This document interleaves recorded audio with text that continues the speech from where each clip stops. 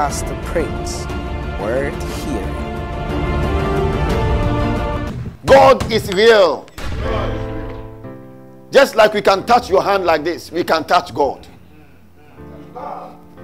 He's real to your spirit, He's real to our spirit. Did you hear what I said? I've said it before. I said the reality of God. Or maybe I'm talking to somebody right now. Amen.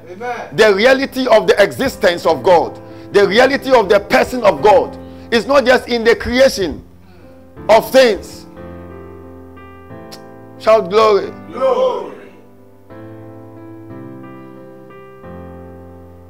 Thank God for that.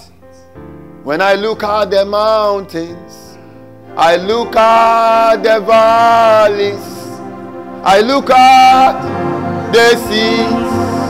Oh my God,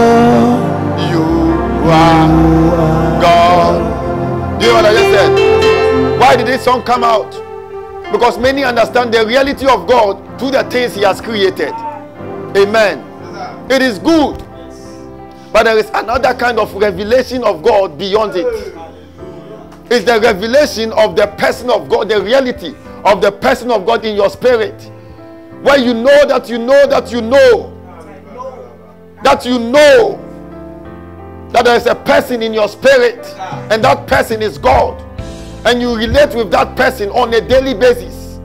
That is the reality of the person of God to us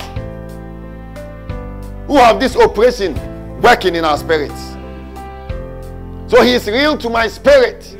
So when people ask you, is God real? Yes, he is real. How do you know? He's real to my spirit.